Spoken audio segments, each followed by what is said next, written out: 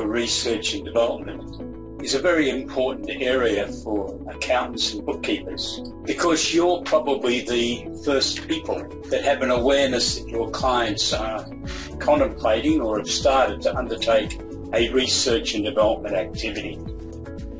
ESS BizTools has developed a full product package to assist you to have an understanding of this process and be able to talk to your clients about it.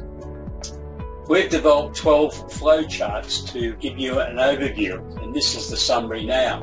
We have links to papers and to business advisory services forms. There's over 50 of them.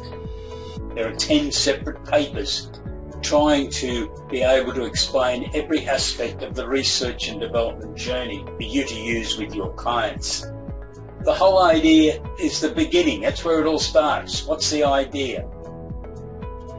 Quite normal to form a small team, but your client needs to understand the rules, and that's why very early in this discussion we have the eligibility rules, which we've summarised in the article and then it will be necessary to undertake some prior art research, and we've identified that.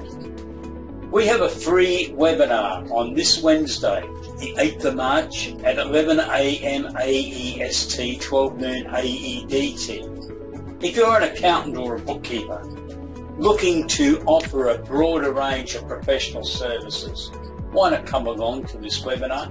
Invest about 45 minutes of your time and research and development is based on the income tax legislation, so it's just another part of the work that you're probably very busy with at present, research and development. I look forward to you joining us this Wednesday.